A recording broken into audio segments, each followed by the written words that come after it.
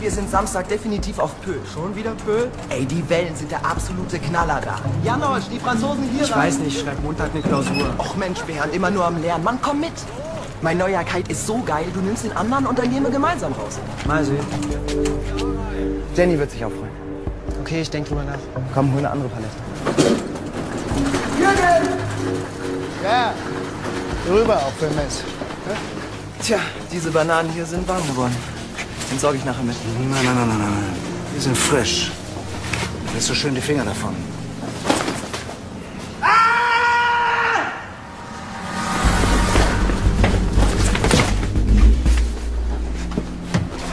Was machst du da? Das ist eine Bananenspinne. Wo? Eine große. Da.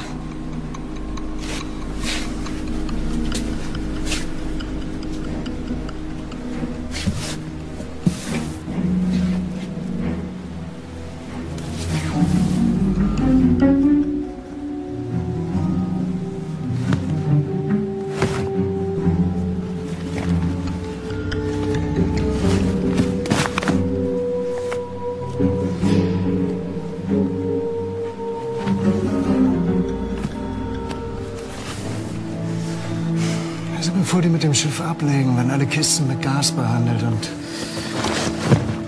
Wenn hier eine Spinne wäre, mein Lieber, dann wäre sie tot.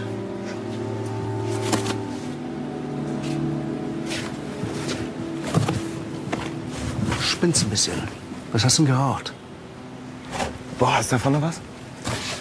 Komm, ab, mach weiter. Ich zahle nicht fürs Umstellen. Ich weiß doch, was ich gesehen habe. Stellt sich an wie ein Mädchen, mein Lieber, komm. Das ist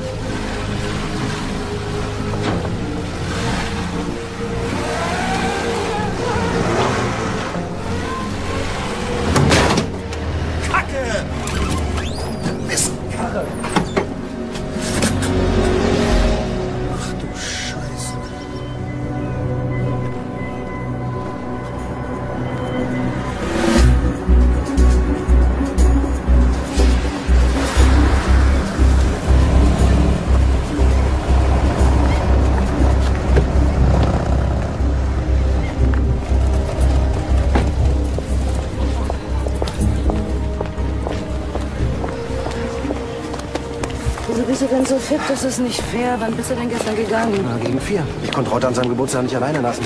Außerdem kann nicht jeder so früh schwächeln wie du. Ich brauche meine vier Stunden Schlaf. Okay, was ist denn passiert? Der junge Mann hat die Leiche im Kofferraum gefunden. Mann, siehst so scheiße aus. Danke. Bitte? Moin, Helene. Meine Lieben. Warum bist du so früh gegangen, Katrin? Das wurde doch richtig lustig. Hm. Hat Reuter wieder auf dem Tisch getanzt? Nackt. Helena, kannst du schon was zum Todeszeitpunkt sagen? Zwischen 1 und 4 Uhr morgens. Woran ist er denn gestorben? Das weiß ich noch nicht. Er hat eine ausgebildete Schwellung am Hinterkopf, aber kein Anzeichen einer Knöchelnverletzung. Keine sichtbaren Würgemale, kein Schnitt, keine Stich- oder Schusswunde. Hat er irgendwelche Papiere bei sich?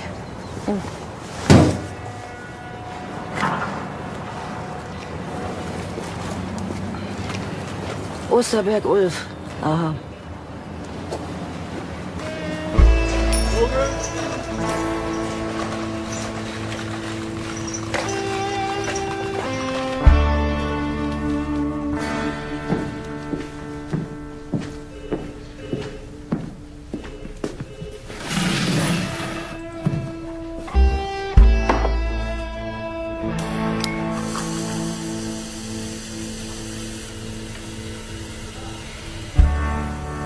Der Mann war 29 Jahre alt, gewohnt hat er in der Usedomer Straße, da fahre ich dann gleich hin. Polizeilich ist er noch nicht in Erscheinung getreten. Also, selbst wird er nicht in den Kofferraum geklettert sein. Wer hat ihn also da reingelegt? Die Wagen sollten heute noch auf dem Frachter und nach Afrika verschickt werden. Wie lange habt ihr noch gefeiert? Eine Weile.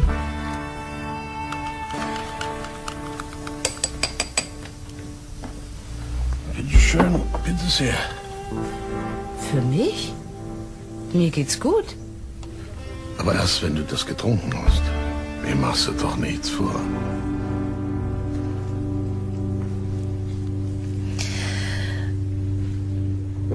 Unser Mörder muss sich im Hafen sehr gut ausgekannt haben.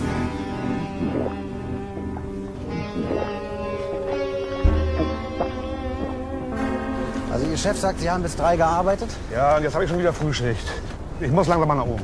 Es geht um die Zeit ab eins. Ist Ihnen da irgendwas Ungewöhnliches auf dem Autoverladeplatz aufgefallen? Da war so ein Wagen mit Anhänger. Was war das für ein Wagen? Irgendein heller Kombi. Aber der Hänger, das waren, das waren Zweiachser. So hoch, mit, mit roter Plane. Was haben Sie da genau gesehen? Der Wagen hat da gestanden. Ach ja, da war da ein Mann, der hat was abgeladen. Hab mich nicht weiter drum gekümmert. Meinen Sie, ich hab den Mörder gesehen? Können Sie den Mann beschreiben? Nee, viel zu weit weg. Das sind 200 Meter. Und ich hatte Arbeit. Und wann war das genau? Halb drei. Danke.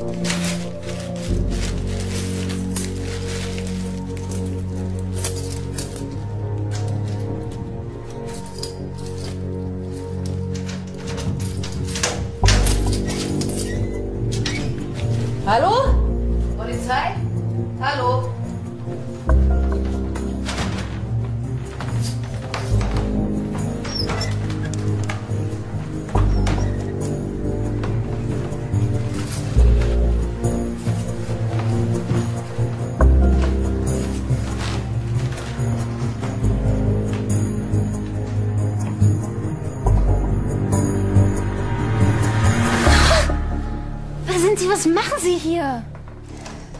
Katrin Böhrensen, Kriminalpolizei. Tut mir leid, wenn ich Sie erschreckt habe. Aber ich habe angenommen, dass Ulf Osterberg alleine hier lebt. Wer sind Sie, wenn ich fragen darf?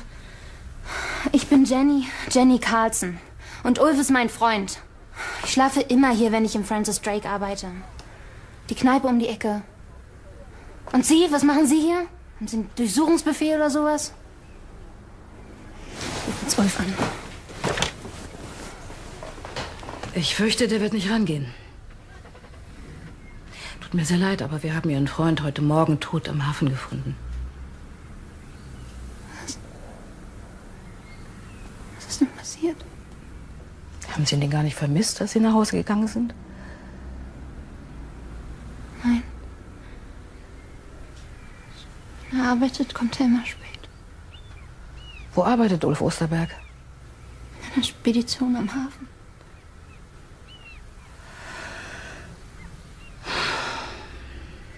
Ja gut, hör zu.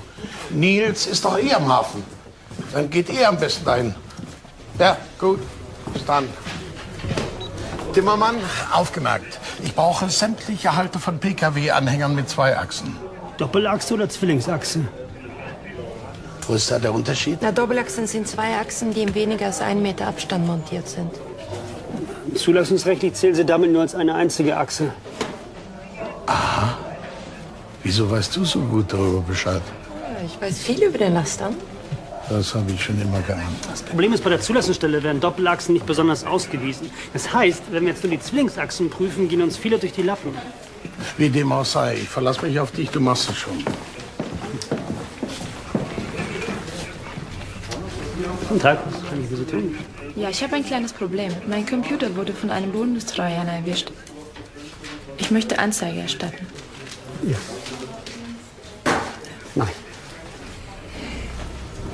Was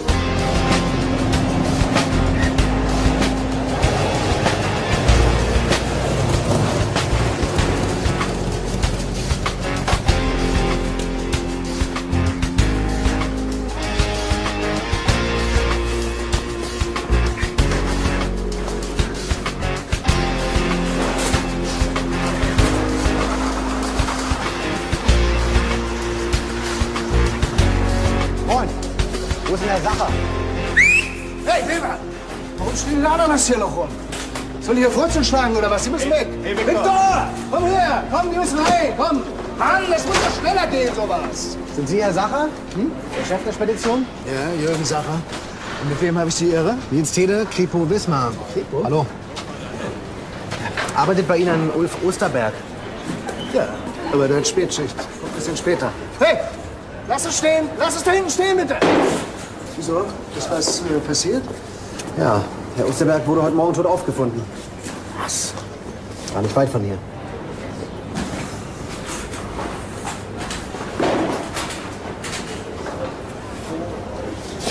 Scheiße!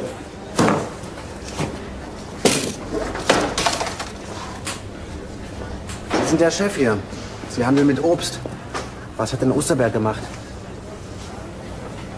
Ich handle nicht mit Obst, das wird bei mir nur umgeschlagen. Ich regel den Import, Verzollung und die Verteilung auf die LKWs der Kunden. Und Osterberg ist, ja, mein Schichtleiter. René, mach weiter, komm. Schneller. War er gestern auf Arbeit? Hm? Ja, ganz normal. Wann ist er denn gegangen?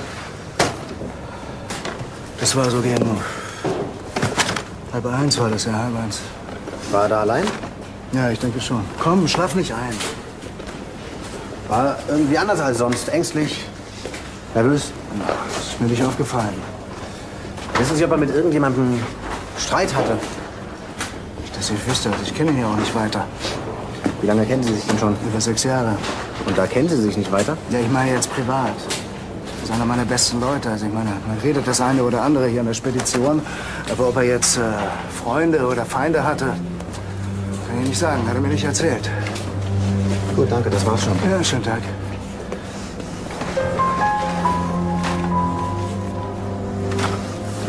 Bernd Bude, Rostocker Straße 23. Fällt Ihnen sonst noch jemand ein? Ihr Freund hatte ja sehr viele Freunde. Alle mögen ihn. Er hat immer gute Laune und, und ihm fällt immer was ein.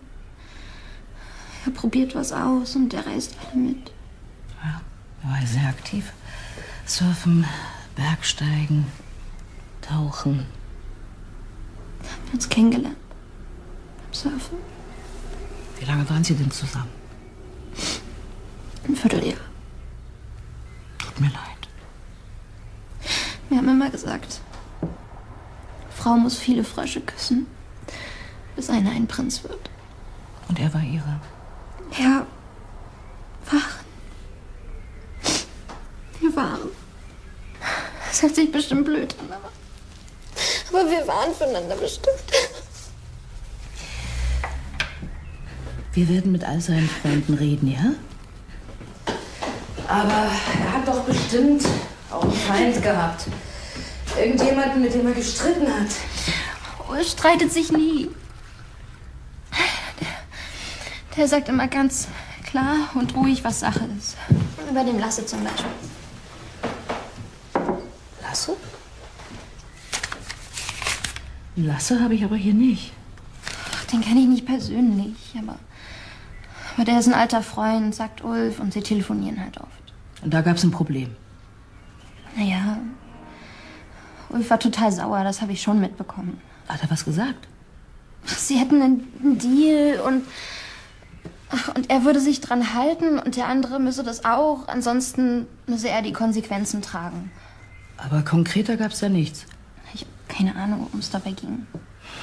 Gut, Frau Carson, ich bräuchte dann noch mal Ihre Hilfe. Ich muss ja die Wohnung durchsuchen. Deswegen bin ich hier. Was suchen Sie denn? Ja, nach allem, was ungewöhnlich ist. Zum Beispiel seine Gehaltsabrechnung, seine Auszüge.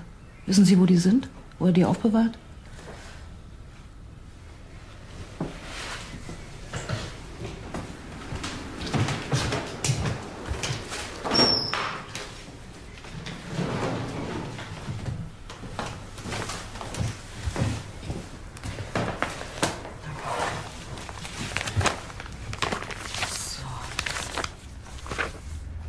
Fernseher, neue Stereoanlage.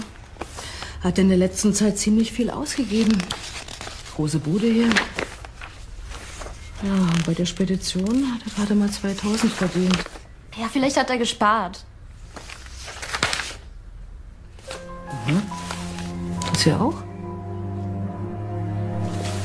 Das sind mindestens 4000. Und die hat er einfach so im Schrank aufbewahrt. Keine Ahnung.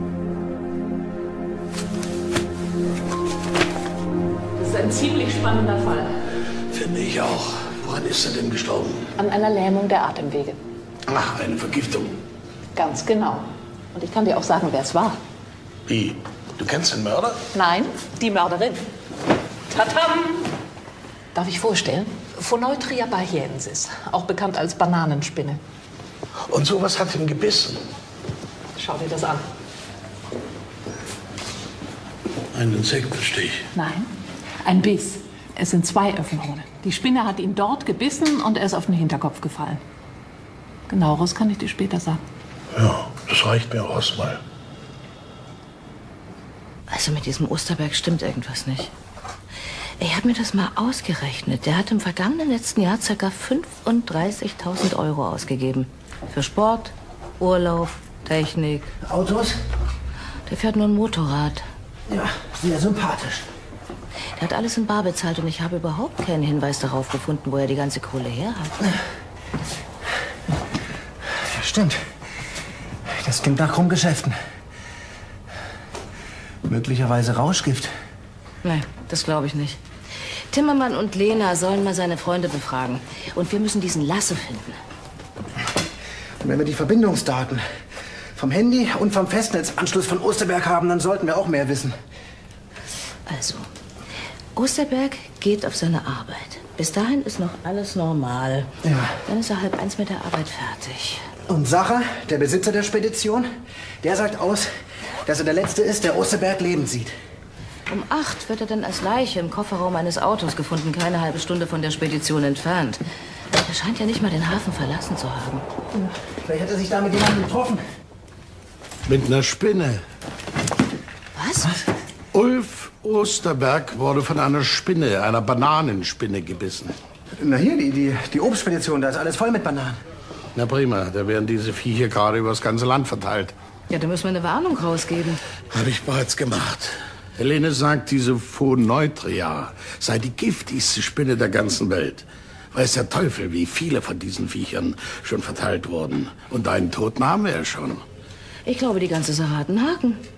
Ja, stimmt. Also Spinnen heben ihre Beute ja ganz gerne mal auf. Aber nicht im Kofferraum eines Autos.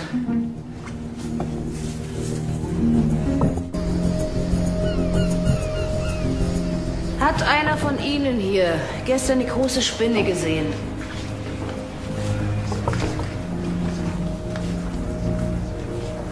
Sie? Da war eine zwischen den Bananen. Gut, Sie bleiben hier, die anderen verlassen bitte die Halle. Wie ist Ihr Name? Bernd Bude. Bernd Bude, ja, mit ihm wollte ich sowieso reden, unter anderem. Jennifer Carlson hat uns gesagt, dass Sie mit Osterberg befreundet waren. Wie geht's, Jenny? Ja, sie kommt ganz gut zurecht. Sie haben also gestern die Spinne gesehen. Wann war das? Gegen zehn. Da, in dem Kühlhaus. Und hat daraufhin irgendjemand was unternommen? Der Sacher hat nachgesehen und hat gesagt, da ist nichts. Und ich soll mich nicht so mädchenhaft anstellen. Also hat keiner was unternommen? Nee. War der Herr Osterberg auch in dem Kühlhaus so nach Mitternacht? Ja. Aber ich habe gar nicht gesehen, dass er wieder rausgekommen ist. Was soll denn das? Ich meine, was soll denn der ganze Aufwand hier? Marco, Ich muss ja mal. lass ihn durch. Das ist der Herr Sacher, der Chef der Spedition. Ja. Was ist denn hier los? Herr Sacher? Reuter, Kripo Wismar. Hören Sie, Ihr ganzer Betrieb steht ab sofort unter Quarantäne. Dazu haben Sie kein Recht. Hab ich doch. Hier ist ein Mensch an einem Spinnenbiss gestorben. Muss doch nicht hier passiert sein, oder? Wo denn sonst? Bananen? Bananenspinne. Da sehen Sie keinen Zusammenhang? Wir wissen, dass gestern eine Spinne hier gesehen wurde. Warum haben Sie nichts unternommen? Warum haben Sie einfach weiterarbeiten lassen? Bist du soweit?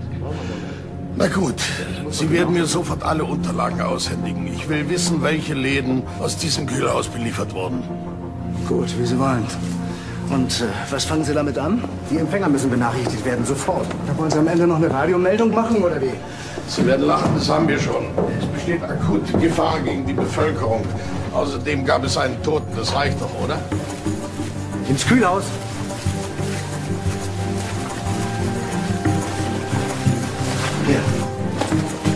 Chef, die Jungs von der Schädlingsbekämpfung sind soweit. Gut, nichts wie aus. Hier kommen Sie.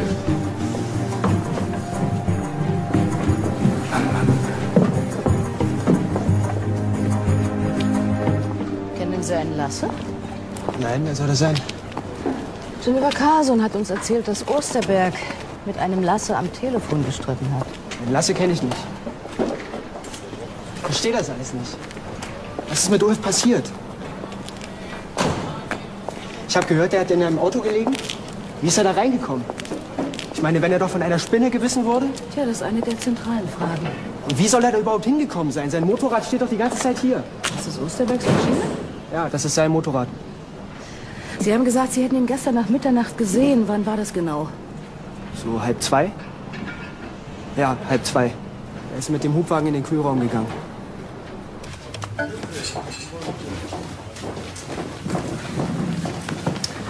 Kommen Sie. Nils, ich habe hier alle Pkw-Anhänger, die in Frage kommen. Natürlich nur die, die hier in Wismar gemeldet sind. cool. Ist Interessantes dabei? Allerdings, das wird uns sehr helfen. Danke dir. Und? Hast du den Fall gelöst? Ich konnte meinen Beitrag leisten. Gut. Herr Sacher, Sie sagten, Ulf Osterberg wäre um halb eins gegangen. Wie war das denn? Hat er gesagt, Chef, ich bin fertig, ich gehe jetzt. Bis morgen. Ja. Also, ja, genau so war das. Und dann ist er ja, nach Hause gegangen. Und warum steht dann seine Maschine noch vor der Tür? Was? Ulf Osterbergs Motorrad steht immer noch vor der Halle. Er hat die Spedition nicht verlassen. Jedenfalls nicht halb eins. Ja, dann muss es wohl später gewesen sein. Mhm. War wohl eher so gegen halb zwei. Da wurde er nämlich gesehen. Lebend. Im Kühlraum, wo die Bananen lagern. Habe ich mich wohl geehrt. Auf Sie ist ein Pkw-Anhänger gemeldet. Ja. Und? Hat er zufällig eine rote Plane? Sie fahren einen hellen Kombi. So ein Wagen mit Anhänger wurde in der Tatnacht gesehen. Am Fundort der Leiche von Ulf Osterberg. Haben Sie uns irgendwas dazu zu sagen?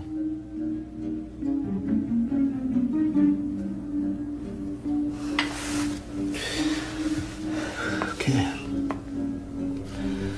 Gut, ich. Ich sage Ihnen jetzt alles, weil ich. Hat keinen Sinn. Ich habe Osterberg gefunden. Wo? In der Kühlhalle. Der lag da so. Der lag. Und war tot. Warum haben Sie nicht die Polizei gerufen? Ich hatte, ich hatte Panik. Sie haben also Ihr Auto geholt, haben die Leiche eingeladen und sind weggefahren. Zum Autolagerplatz für den Afrika-Export. Weil Sie wussten genau, dass die Autos heute verladen werden.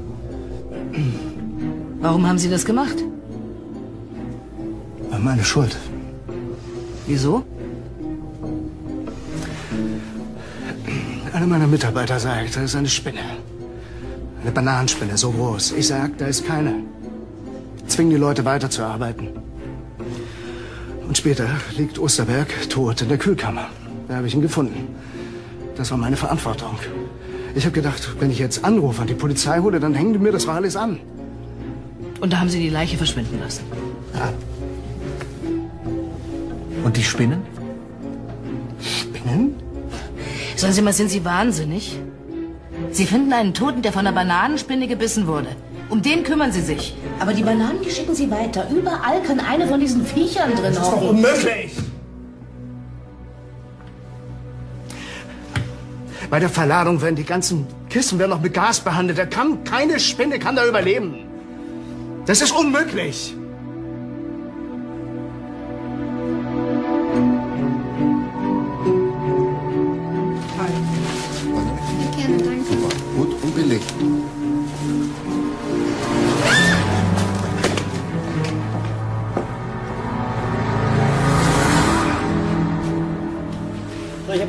Empfänger benachrichtigt. Zwei der LKWs haben sie bereits auf der Autobahn gestoppt. Ein bei Rostock und ein bei Hamburg. Sehr schön, Timmermann, danke. Reuter, du bist so gemein. Ich? Wieso? Moment. Reuter? Du findest die Spinnen. Ja? Und du sagst mir nicht Bescheid. Ja, das ist Haben Sie ja nicht direkt gefunden. Die Schädlingsbekämpfer, die haben alles begast und abgesucht. Da wurde keine Spinne gefunden. Sind sie? Sie sterben, dann rollen sie sich so klein zusammen. Die hier nicht. Die sitzt in einem kleinen Lebensmittelladen am Strand. Lebendig und quietschfidel.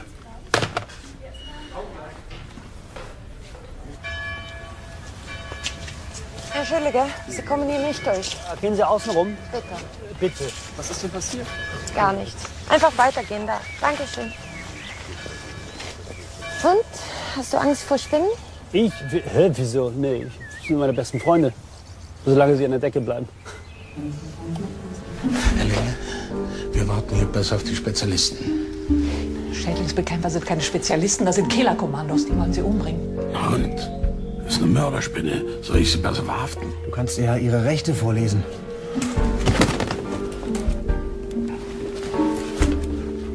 Pass auf dich auf. Das wäre dein Job. Wo sie recht hat, hat sie recht. Du bist der Mann. Nicht? Zu viele Leute machen ihr Angst.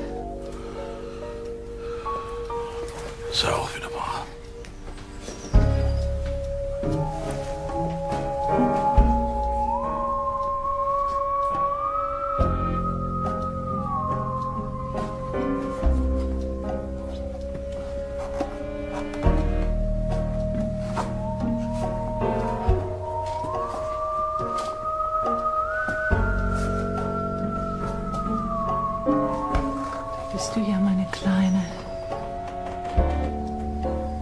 Ich tu dir nichts. Komm zu Mama.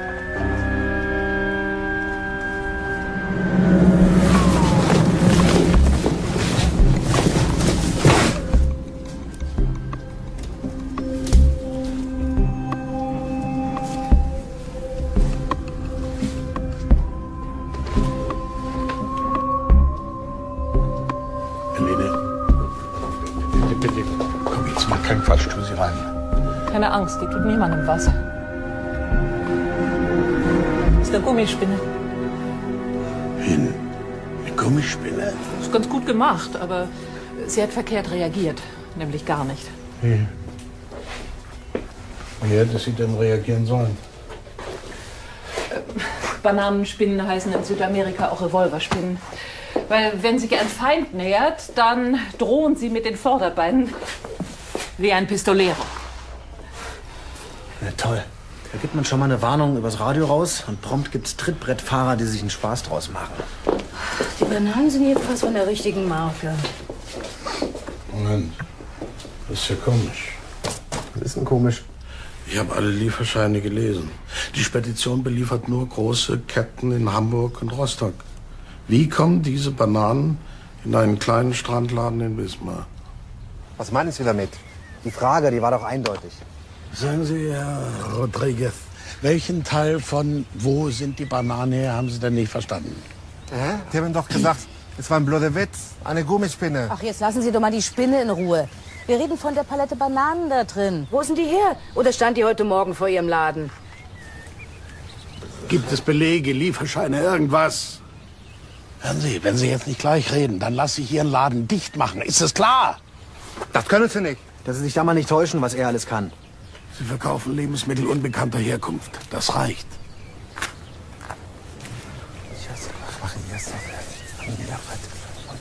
Okay, ich habe sie so gekauft. Ohne Rechnung. Schwarz. Was soll ich dazu sagen? Zum Beispiel die Wahrheit. Also, wo ist die Ware her? Ich weiß den Namen nicht. Er kommt immer vorbei, hat was im Wagen, für kleines Geld, ganz verschiedene Sachen. Ein junger Mann, sieht ganz gut aus, sportlich. Mehr weiß ich noch nicht.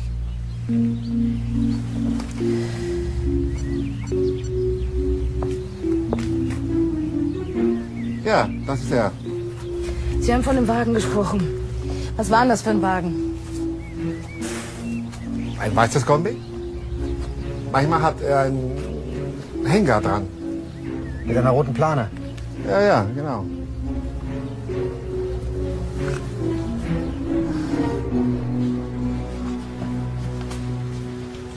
Also, Osterberg und Sacher verkaufen Obst auf eigene Rechnung. Kein Wunder, dass der immer so großzügig war. Was alle Freunde immer bestätigt haben.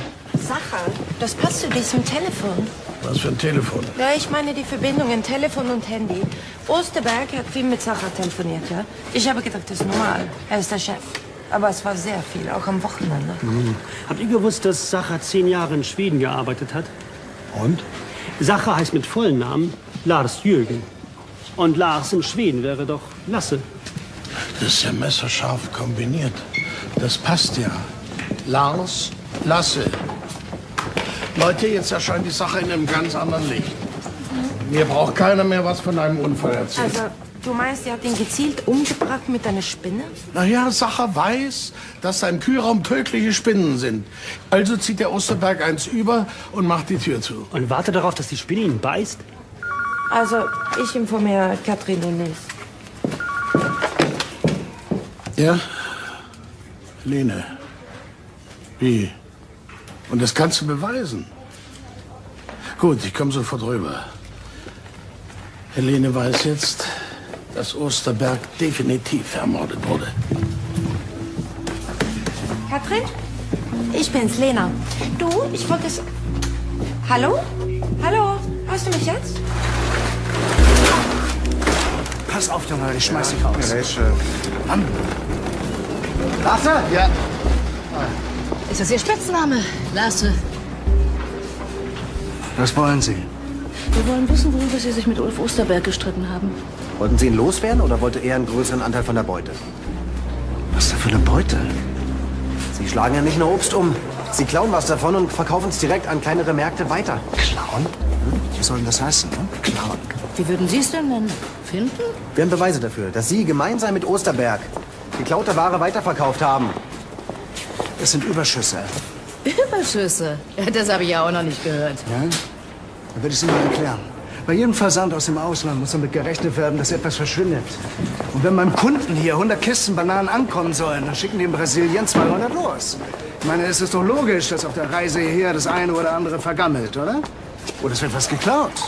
Ich meine, im Ausland, nicht hier. Hier sind ja Überschüsse. Und alles, was über ist, das gehört Ihnen.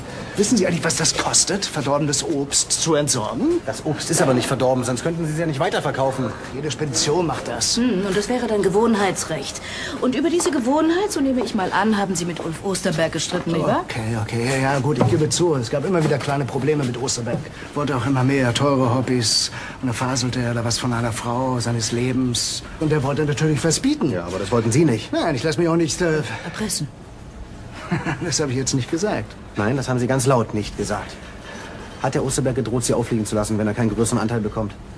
Hm, das ist Blödsinn. Er war eine Gefahr für Sie, für Sie und Ihre kleinen, miesen Nebengeschäfte. Haben Sie Ulf Osterberg niedergeschlagen? Das ist auch Blödsinn. Damit die Spinnen ihn erledigen. Ja, das ist richtiger Blödsinn.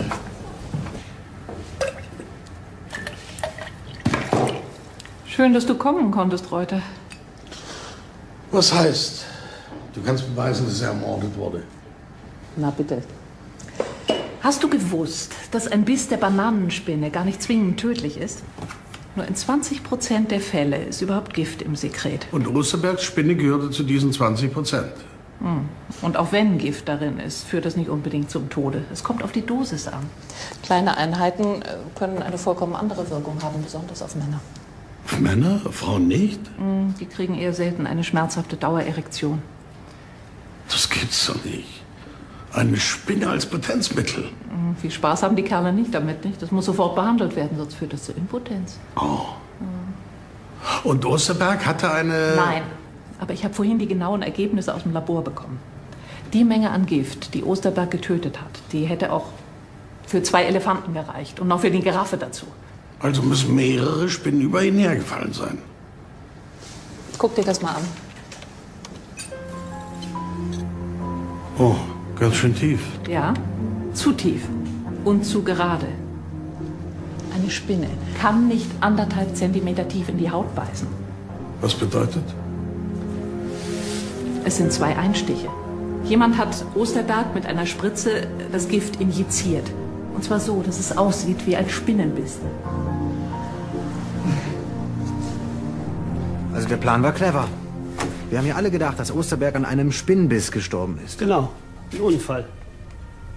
Nehmen wir mal an, Sacher besorgt extra das Gift zu einer Spinne, was ja nun wirklich nicht leicht ist. Dann schlägt der Osterberg nieder und injiziert ihm das Gift in den Nacken. Und zwar so gut, dass selbst Helene glaubt, dass es ein Biss ist. Wenn er sich nun diese Mühe macht. Warum zum Teufel soll er dann die Leiche von Osterberg in den Kofferraum des Wagens getan haben, der dann nach Afrika verschifft werden soll?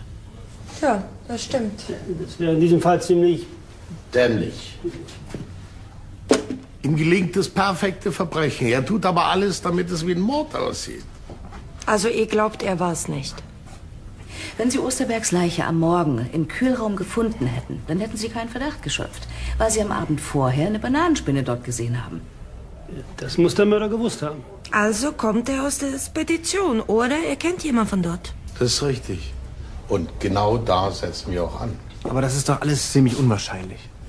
Stellt euch mal vor, der Mörder hat eine Spritze mit Spinngift dabei. Die hat er einfach so in der Tasche. Und dann wartet er, dass irgendjemand irgendwann eine Bananenspinne findet? Und dann bringt er Osterberg um? Also hallo, wie wahrscheinlich ist das denn? Nicht sehr. Gibt es eigentlich einen Beweis dafür, dass es in diesem Lager eine echte, also lebendige Bananenspinne gegeben hat? Mindestens eine wurde doch gesehen. Aber nur von einem einzigen Mann. Warum wollen Sie das wissen? Sie haben doch gesagt, es war ein Unfall. Eine Spinne. Ja, Ihr Freund ist an Spinnengift gestorben. Wir haben trotzdem noch ein paar offene Fragen. Wir haben mit den meisten Leuten, die Sie uns genannt haben, gesprochen. Ihr Freund schien wirklich sehr beliebt gewesen zu sein. Keiner wusste was von Feinden. Das habe ich doch gesagt. Alle mochten ihn.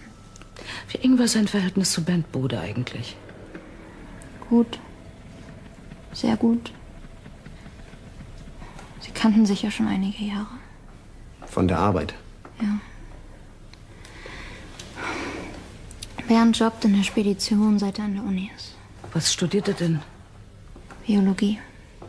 Ah, verstehe. Deswegen hat er die Bananenspinne im Lager erkannt. Er erzählt, dass er sie gesehen hat. Er macht sich solche Vorwürfe, dass er nichts unternommen hat. Er glaubt, er ist für Ulfs Tod verantwortlich. Er war hier. Nein. Er ist bei der Arbeit und er hat mich angerufen, um zu hören, wie es mir geht. Das ist aber lieb von Ihren Freunden, dass die sich um Sie kümmern. Das ist ein toller Freundeskreis, hat nicht jeder. Bernd und ich, wir kennen uns schon ein bisschen länger. Wie gut kannten Sie sich denn? Ja, da lief mal was. Aber damit waren wir durch. Dann habe ich Ulf kennengelernt. Durch Bernd. Mich mal mit zum Surfen genommen. Und was hat Bernd dazu gesagt? Was hätte er denn sagen sollen? War vorbei. Wir haben das geklärt. Das war bevor ich Ulf kennengelernt habe. Bernd und ich sind trotzdem Freunde geblieben.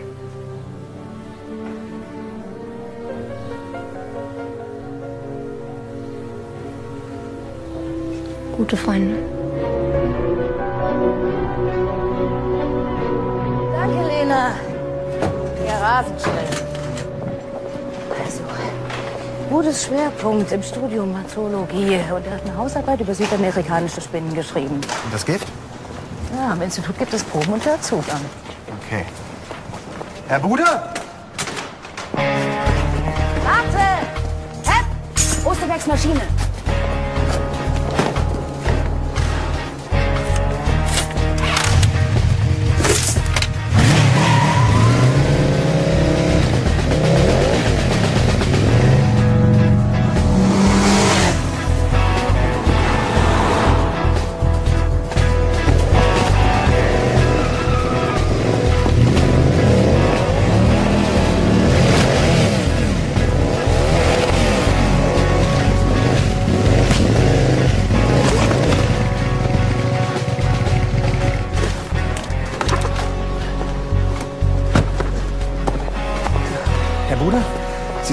Festgenommen.